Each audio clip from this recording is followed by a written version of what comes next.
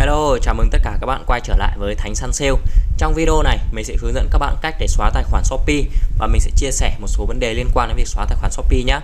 Trước tiên thì mình sẽ hướng dẫn các bạn cách để xóa tài khoản Shopee này. Đầu tiên, sau khi mở ứng dụng Shopee lên, các bạn chọn vào mục tôi ở góc dưới bên phải màn hình giúp mình nhá.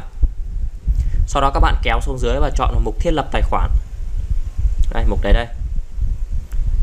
Rồi các bạn nhìn xuống phía dưới cuối cùng các bạn sẽ thấy mục yêu cầu xóa tài khoản và các bạn chọn vào đó giúp mình nhé rồi các bạn chọn mục đồng ý này. Sau đó các bạn xem những cái thông báo quan trọng mà Shopee gửi đến các bạn ở đây này. Toàn bộ xu còn lại trong tài khoản của bạn sẽ bị mất này.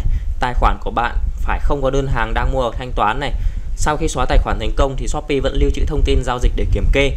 Và sau khi xóa tài khoản thành công, bạn không thể đăng nhập xem lịch sử trước đó của tài khoản đã xóa và cuối cùng là Shopee có quyền từ chối yêu cầu tạo tài khoản trong tương lai bằng cái số điện thoại mà các bạn dùng để tạo cái tài khoản Shopee vừa bị xóa đấy. Thì nếu như các bạn đồng ý với những điều này thì các bạn nhấn tiếp tục giúp mình nhé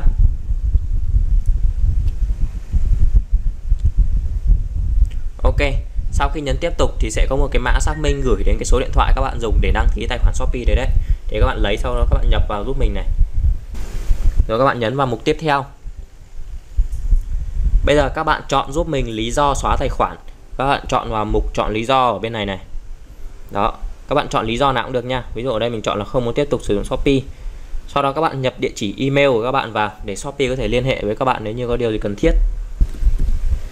Sau khi nhập địa chỉ email xong, các bạn tích vào ô vuông ở cạnh chỗ tôi đồng ý này. Rồi các bạn nhấn vào gửi này. Sau đó các bạn chọn mục đồng ý. Ok, như vậy là các bạn đã xóa tài khoản thành công. Sau khi xóa thì Shopee sẽ tự động out ra và quay trở lại trang chủ Shopee. Đó, bây giờ thì mình có một số lưu ý đối với các bạn khi mà xóa tài khoản này. Thứ nhất là các bạn sẽ không thể đăng nhập và xem thông báo sau khi xóa tài khoản. Thứ hai là bạn không thể khôi phục tài khoản mà đã xóa vĩnh viễn và việc tạo lập lại cái tài khoản mới thì sẽ do bên Shopee quyết định nhé Thứ ba là Shopee sẽ không giải quyết bất kỳ yêu cầu nào về việc mua bán cho những cái tài khoản đã xóa vĩnh viễn. Và cuối cùng là bạn cần phải xóa sản phẩm trong giỏ hàng và hoàn thành tất cả việc mua bán đơn hàng trước khi yêu cầu xóa tài khoản. Và tại sao có một số bạn không để xóa tài khoản thì có ba nguyên nhân như sau. Thứ nhất là do tài khoản của bạn đang bị khóa bởi Shopee hoặc là bị các giới hạn vi phạm như là tạo đơn hàng ảo này, đánh giá ảo hay các hành vi gian lận lừa đảo vân vân thì các bạn sẽ không thể xóa được tài khoản.